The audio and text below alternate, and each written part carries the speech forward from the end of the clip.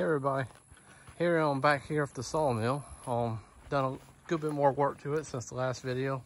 Still not done all the way, but just kind of show you what I've done so far.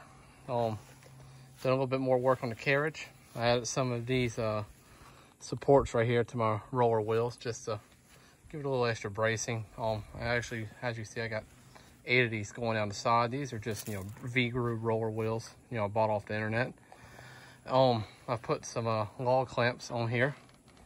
They, uh, this side will slide up and down and pivot. That side just pivots up and down.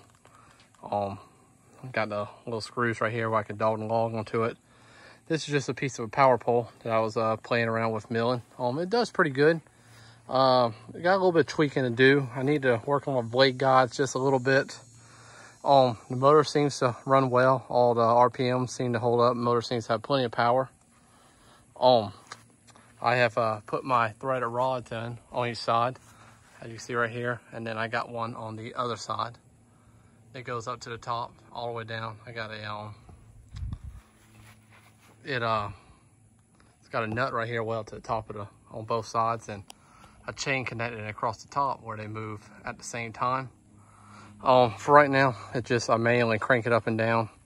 I do eventually want to put a uh, hydraulic feed on this. Probably put it somewhere right here at the bottom, a hydraulic motor. And then I also want to uh, have a hydraulic motor to move my carriage up and down. Um, but I got some parts for that, but that'll probably come in the next video. Oh, like I said, I, I think I'm end up putting a bottom roller on my blade guide here. It, uh, when I dig in deep, the blade uh, wants to walk down a little bit. So I'll put a bottom roller right there to uh, help with that. And also once I get a you know consistent feed with the power feed, I think it's going to help with that too. But um, end up the blade accidentally came off. I didn't have it tight and uh, it bent some teeth on it. So that's also probably contributing to how bad it was diving towards the end. But um, as you see here though, like I said, it's made some progress. I got uh, the track completely welded on here. I just got a little rope right here to temporarily pull it back and forth for me. But um, I said I'm eventually gonna put a uh, roller chain all the way down it and um, have a, a uh, hydraulic drive motor that pulls the carriage as well. Just, just a little, another view right here of threaded rod and it goes up, connects across the top. Got the uh, electric start on my motor hooked up and uh, don't know if I explained this really well the last time, but this is how I engage it. Obviously it's loose right now where the motor can start. And then once I start it, that just cams over like that and tightens the belt. Seems to work pretty good. It's kind of simple. This is just a little weight hanging on the end to keep it slack. Well, that's about all I've done for right now. And um, I will uh, show y'all a little video of the uh, mower I got and some of the hydraulic motors I'm gonna put on for parts and some of the boards I cut. These are some of the boards I cut out of that one piece of power pole here. As you see, before I end up bending the blade, um, I actually made a pretty good cut.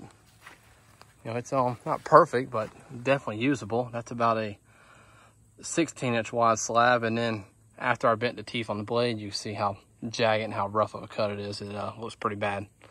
But I mean, this is something I can live with for um, the stuff I'm gonna be doing, but uh, I'm hoping to get it dialed in a little better of time and we'll see how it goes from there. This is the motor, and the mower I got. Picked it up for um, somebody that told me if I got it out of their yard, I could have it. And um, figure it's got some parts on it that are pretty decent. It's got these uh, drive motors, one on every wheel that I'm gonna use for my uh, power feed up and down and the power feed my carriage um, back and forth I said, uh, I know it's got a, some, a nightmare of some hydraulic plumbing I'm gonna have to work out, but nothing we can't handle. And um, it's also, uh, I just happened to throw some uh, fuel to it on a little temporary filter and um, hooked a battery to it and a little three cylinder Kubota diesel happened to start right up, runs great. So I um, kind of wish I would have known about that before I bought the motor off of Amazon. This would have been a great little motor to put on it. And uh, but, oh well, I'm sure I can find another project for this uh, in the future.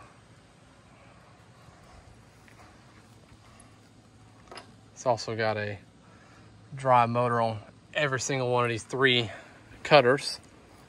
And um, it's got uh, cylinders to pick the cutters up and down and a cylinders that steer, steered the rear end. But um, so get all this worked out, and I think we're gonna have some good parts out of here.